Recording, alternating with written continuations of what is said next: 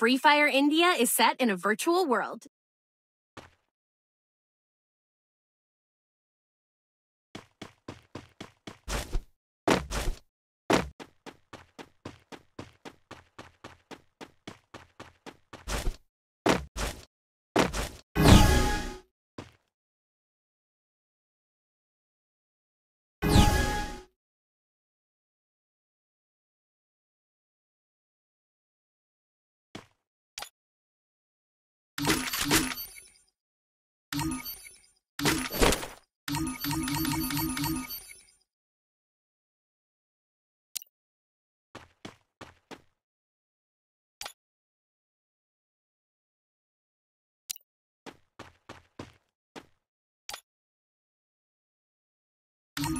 You